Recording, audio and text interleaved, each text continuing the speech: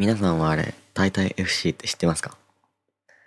最近、あの、バズってる、サッカー系、YouTuber の人なんですけど、ね、こっちの人が大体って言ってて、この人ね、すごい、サッカーの分析について、すごい面白いことを話してると思うんですけど、うん、このチャンネルすごい面白いと思うんですけど、このね、隣の、この方、皆さん誰かわかりますか？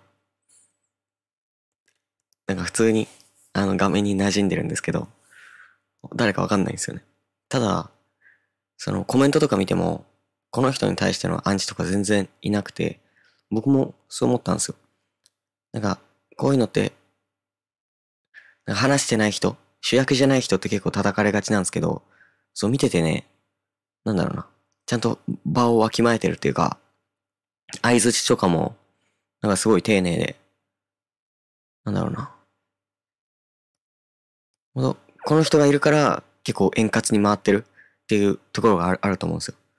このね、タイタイがね、もし一人で語ってたとしたら、まあそれはそれで面白いと思う思うんだけど、なんだろうな。やっぱ二人で対談形式っていうと、なんか見てる人もさ、あ飽きにくいっていうのがあると思う、思うじゃないですか。そう。ただね、対談のね、もうね、むずいところは、やっぱ、この主役じゃない人がどういう立ち回りをするかっていう。で、この人はすごい、うまい立ち回りできてるなと思ってて。もう質問とかもうまいし、例え話とかも、そんな、出しゃばらない。自我がそんな強くないっていう。うん。そう、だから、うん。大体 FC は実は、この人のおかげで成り立ってるっていう。まあ、大体もすごいけどね。うん。だからね、この人のことをもっと、あの、褒めたたえましょう、皆さんで。うん。あとなんか自己紹介みたいなのしてほしいですけどね。この人が、誰かま、マジでわからないんで。